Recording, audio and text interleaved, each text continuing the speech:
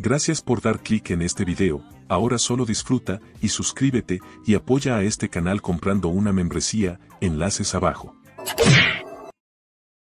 A paso lento un chico, intentaba escapar de la muerte. Porque era el único en ese lugar. Pedía a cualquiera que lo salvara, con desesperación. Un demonio de élite era el que lo seguía, y caminaba con una gran sonrisa. Aún así, el chico con todas sus fuerzas se puso de pie. Tambaleándose, dijo que aun si era atormentado, y despreciado, jamás se iba a rendir. No le importaba si todos o el mismo mundo lo abandonaba, no le quedaba más que seguir avanzando. Un golpe del demonio lo hizo volar y caer al suelo adolorido. El demonio cargó un ataque, y lo disparó al suelo.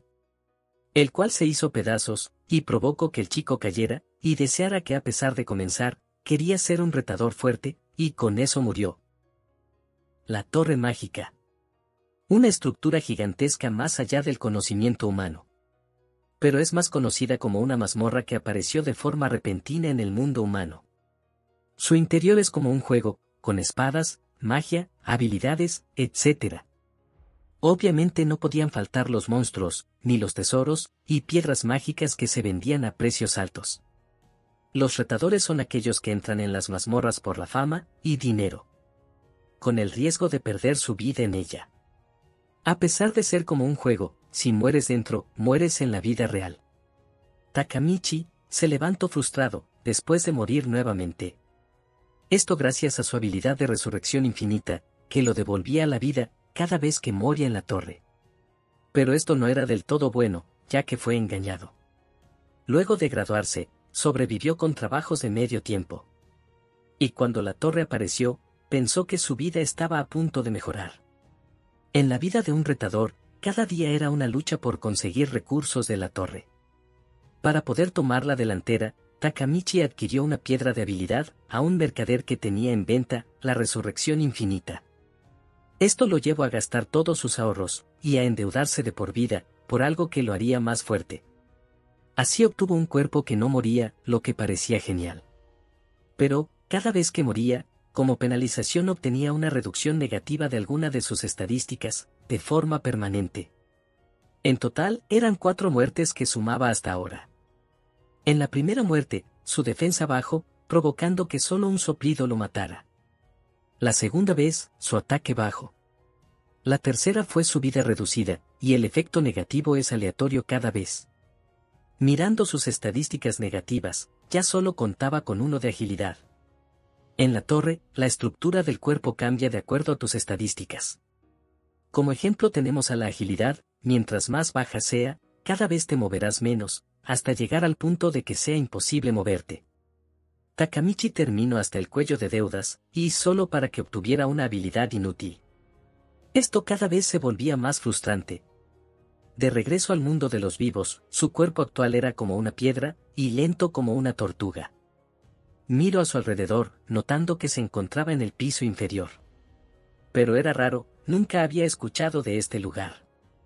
Miro al frente suyo, y con gran sorpresa, a lo lejos observó una piedra de habilidad, que era dorada, lo que significaba que era ultra rara.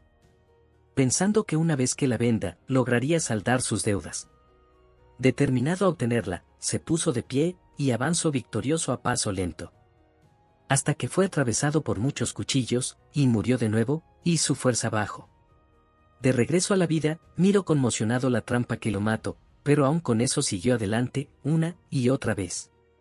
Este pasadizo estrecho, era con el fin de seducir a los retadores, y estos avanzaran con la guardia baja, solo para que murieran por todas las trampas. En circunstancias normales, sería imposible atravesarlo. Pero él, Takamichi, el retador más débil, sería el primero en lograrlo. Así que con mucha determinación, siguió adelante, muriendo unas decenas de veces más. Hasta llegar al punto, de desconocer cuántas veces había muerto. Con la visión borrosa, y su conciencia desvaneciéndose, logró tocar la piedra de habilidad, solo para perder el conocimiento. El sistema al no obtener respuesta del retador, de forma automática le otorgó la habilidad. Takamachi regresó a la vida, y este desconcertado. Pero aún más raro. Ya que se sentía más fuerte que antes, y no lograba sentir los efectos negativos de su habilidad. Abrió su panel de estadísticas, y notó que ahora todos sus parámetros negativos eran positivos.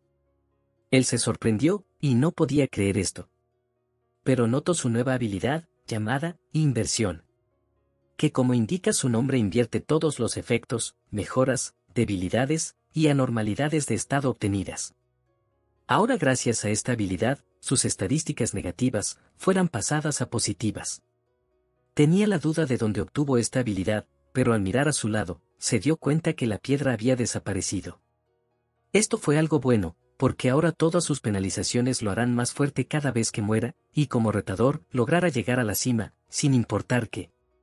Ahora centrándose en lo importante, era que tenía que regresar por el mismo lugar donde murió, quién sabe cuántas veces. Aunque es revivido cada vez que muere, esto le dolía bastante, y lo dejaba con un pequeño trauma. Takamichi se arma de valor al recordar sus estadísticas actuales, y creía que ahora podía cruzar el pasillo sin morir. Tampoco es como si tuviera otra opción para regresar. Corriendo en línea recta, observo las lanzas que estaban a punto de atravesarlo, y por puro instinto esquivo todas estas. Así ganando confianza, fue esquivando de trampa en trampa, y equipando su espada, la uso para desviar algunas cuchillas. Hasta que llego al lugar donde comenzó todo, parándose victorioso, y aún más con sus habilidades que lo fortalecían en cara muerte, para así convertirse en el retador más fuerte. Estando justo debajo de donde cayó, miro el lugar que era alto, que haría que su antiguo yo le fuera imposible regresar. Pero ahora era distinto, y con un gran impulso, y saltando llego a la superficie, donde el demonio lo estaba esperando para su revancha. Pero para su mala suerte del demonio, él contaba con vidas infinitas. Ambos atacaron al mismo tiempo, Takamichi dio un corte con su espada, y ahora ya no se encontraba con su miedo anterior lanzó otro corte con su espada, y retrocedió, para esquivar el ataque del demonio, quien ahora estaba molesto por su situación actual. Takamachi reflexionó sobre el demonio frente a él, ya que entre más arriba de la torre estés, más fuertes serán los monstruos. Pero ahora solo están en el piso 3, y solo debería haber monstruos débiles. Aún con sus estadísticas mejoradas, le resultaba complicado seguir el ritmo de este demonio, que no debería estar en este lugar por obvias razones no obtendría ninguna respuesta. Ambos se prepararon para continuar su lucha, el demonio cargó ataques, y los lanzó a Takemichi, quien corrió por el lugar, esquivando cada ataque entrante. Logrando bloquear con su espada el ataque del demonio que estaba frente a él, pero no espero que éste, con su otra mano le mandara un ataque, que lo mato al instante.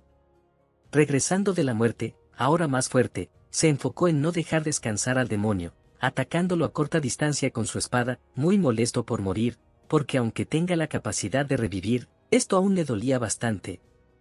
Ahora con su aumento de estadísticas podía hacerlo retroceder, pero aún no era suficiente, y con sorpresa en el rostro, murió de nuevo. Regresando ahora con más agilidad, dijo al demonio que había dado una buena pelea. Y con rapidez ataco en línea recta, y de un corte, termino con el demonio. Al final la vida del demonio era limitada, después de que obtuvo su nueva habilidad. Nunca tuvo ninguna oportunidad de ganar. Pero aún así, podían ir ambos al infierno o algún otro lugar, para encontrarse una vez más. Y cuando eso suceda, espera que tengan una pelea justa. Cuando la pelea terminó, al fin pudo dar un respiro después de morir dos veces más en esta lucha. Pero su espada era la que peor lo pasó, ya que ahora necesitaba una nueva arma, lo que costaría dinero. Así que se dedicó a recoger las piedras mágicas del lugar. En el piso 1 de la Torre Mágica.